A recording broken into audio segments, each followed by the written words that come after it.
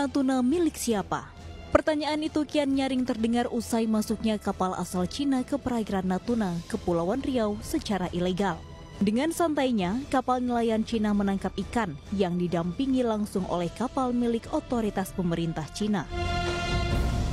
Padahal, menurut Konvensi United Nations Convention on the Law of the Sea atau UNCLOS tahun 1982, perairan Natuna masuk dalam zona ekonomi eksklusif Indonesia.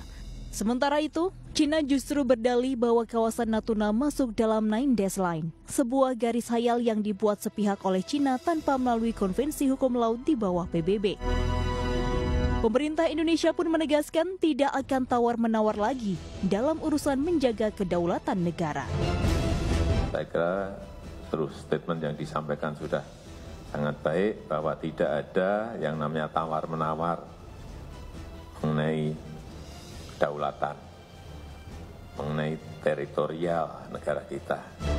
Indonesia tidak pernah akan mengakui Nine Dash Line, klaim sepihak yang dilakukan oleh Tiongkok yang tidak memiliki alasan hukum yang diakui oleh hukum internasional terutama UNCLOS 1982. Di lain pihak, pemerintah Cina juga menyatakan ketegasannya atas posisi Cina di Laut Cina Selatan, termasuk perairan Natuna. Juru bicara Kementerian Luar Negeri Cina bersikukuh bahwa Cina memiliki hak atas wilayah itu.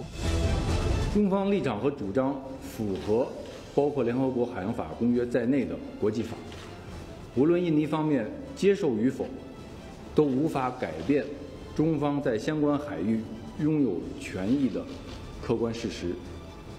南海仲裁案所谓的裁决是非法的、无效的，中方早就阐明不接受、不承认的严正立场。